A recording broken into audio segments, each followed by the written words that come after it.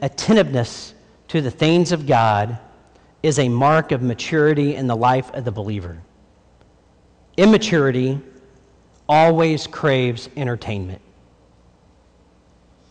Attentiveness to the things of God, to the truths of God.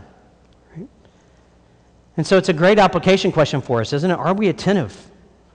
Both when we're hearing the Word of God preached and when we're reading it and when we're in our small groups and when we're at home. And there's no one way to do this. You say, well, I mean, some people take notes, and I mean, that's great, but the deal's not how do you do it, the issue is do you do it? Are you attentive? Do you understand that it's not just a book or it's not just someone speaking, that the Spirit of God dwells within us and He is speaking?